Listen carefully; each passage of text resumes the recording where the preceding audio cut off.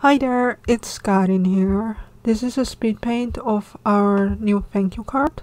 We had our old thank you card for 6 months already and even though I still really like it, we thought it was time for a new one. To be honest, I feel kinda sad letting it go because I was really happy with that one. The idea for this thank you card is that my character who doesn't have a name yet is approaching you after you made a purchase and says thank you I wanted to draw anime and experiment with facial expressions. I enjoyed drawing this one because whenever I draw anime, I get to experiment with different things. One thing I wanted to include in this drawing is a thicker outer line art. I stole this idea from artists who draw on paper. I noticed that they made their outer line art thicker so the silhouette pops out more. I recently realized that the lashes of anime girls are so thick because the artist wants you to look at the eyes first. It has more contrast compared to the rest of the drawing. Nowhere else in the drawing you have thicker liner than the eyes. And somehow this was mind-blowing for me. And as you can see here, I'm making some parts of the liner thicker. I try to keep in mind which part would be in the shadow and which part would be in the light.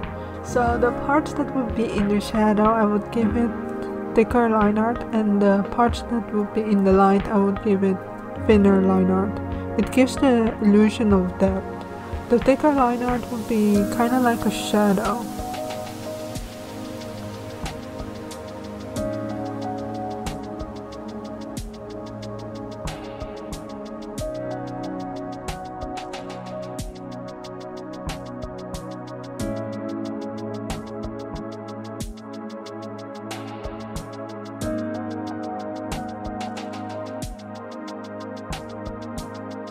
Here I'm making a new layer for the base color.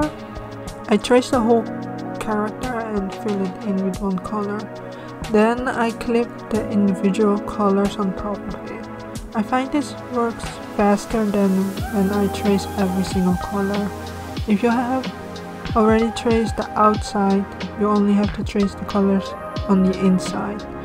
Then I group all the colors together and clip my shading layer on top of it. This layer is set to multiply because I'm too lazy to have a shading layer for every color. And it works pretty good for me. Also, I try to make the shading more interesting by giving it an outer glow. It's a Photoshop setting. I have it set to a really bright orange to give it a golden hour vibe. Then I add some screen tones because it looked quite flat.